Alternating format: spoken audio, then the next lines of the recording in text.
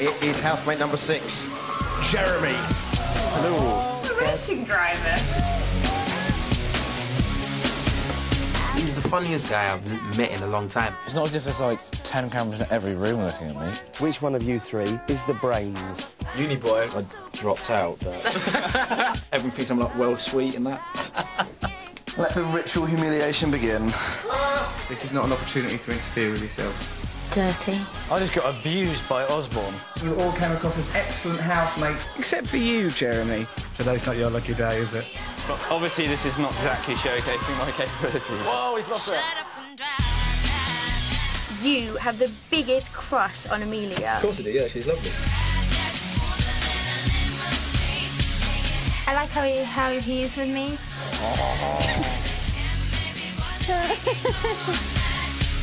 Feeling a bit loved up, are you? As if I'd have you. Jesus, someone's going to be much further than you. You know what? I'm going to find another racing driver, and I'm going to make him kick your ass. Now shut up and drive. Jeremy and Amelia have fallen out. They're a big f- Even to question my intelligence, okay, because I'm more intelligent than sort of flipped at Amelia for no reason. I was Oh, did you? You don't know shit about motor racing.